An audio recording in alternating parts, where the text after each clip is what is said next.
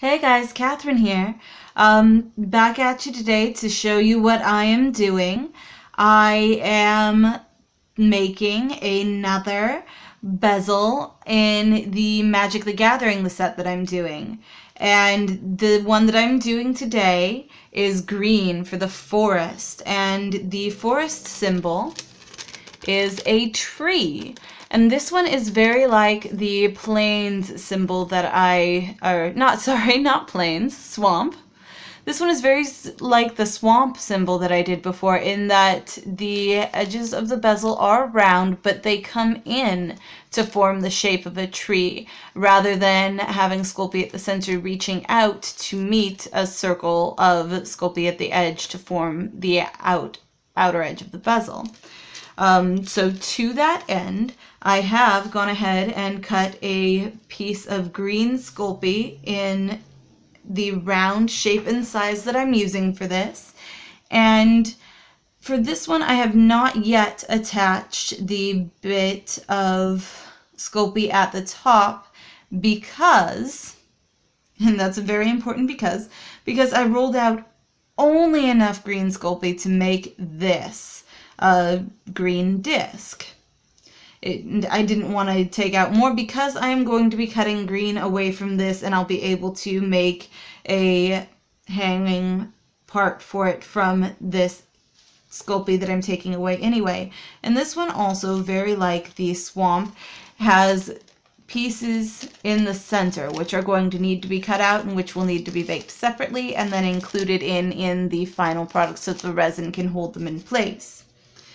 So I've got my bit of paper cut out and I have got it eh, almost lined up to the circle that I intend to do and then I just want to sort of flatten it down into place. Go, just making sure that everything is sticking down and clinging very well to the Sculpey.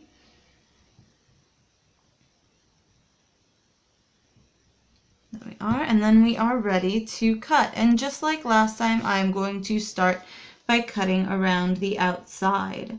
So I will take and I will cut just from the outside in doing the best I can not to move the paper. Um, it is stuck down pretty well, but I still don't want it to wander around on me while I'm cutting.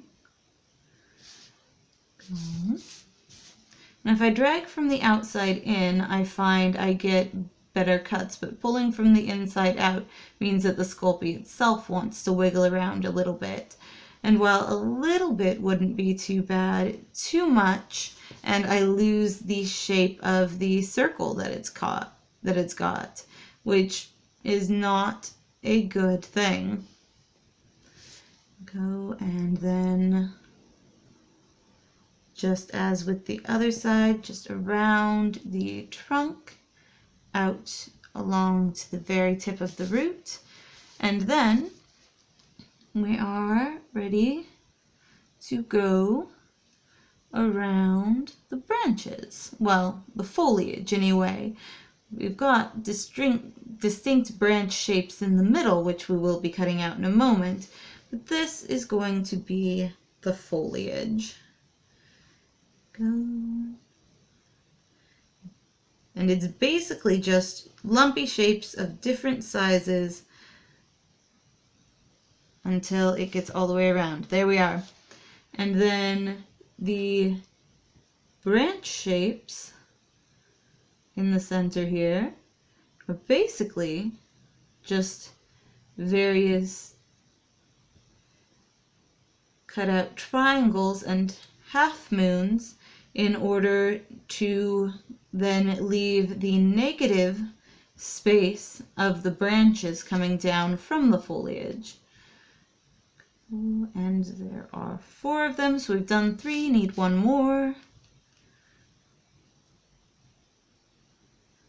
And done. All right.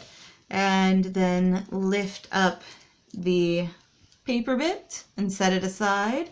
And then lift out the center tree, trying to leave all of the important parts. Actually, I may just lift those out and then place them back in afterward. They don't really want to stay on my wooden block rather than come away with the Sculpey like I would like.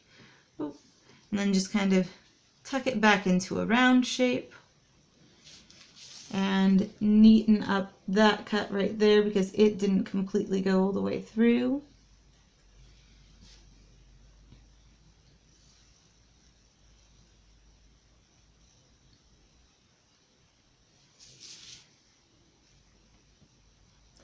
And then take and lift out these pieces, if I can get them. There we go. Try not to stab them too much and make them different shapes. And set them in the center here.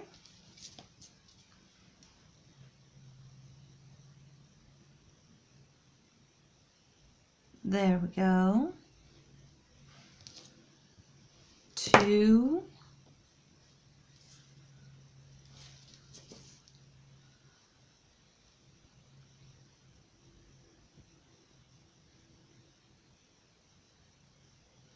Come on, you.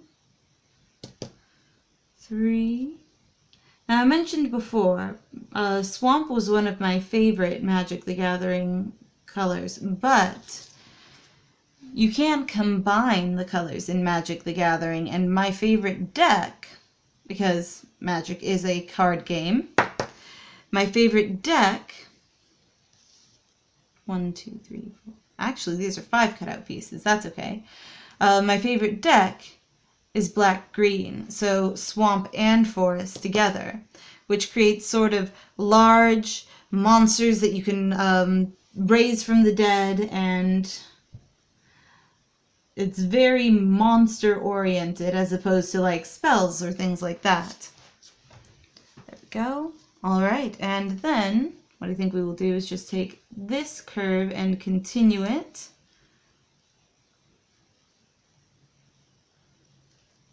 Separate it off from the rest of this green and then just mash this up. And then take this and set it right in the middle of that, press down, and that gives us a nice bit of loop that we can connect up to the top of the tree. And there we have it. It needs a little bit of straightening, a little bit of smoothing, and a little bit connecting everything back on. Um, but that's going to be it. That is the forest symbol from Magic the Gathering, made out of Sculpey into a shape that can then be used as a bezel for setting resin in. Um, tiny dried leaves or flowers might be really excellent for this one because it is a forest symbol. Um, okay, I'm just taking and smoothing that out a little bit. That's okay. Actually, I want this to be a little bit shorter. Take that and set it aside and cut that off and set it aside and there we are. And then I will just attach it on and bake it according to the Sculpey instructions. And there we have it. Let me just straighten that out a little bit more.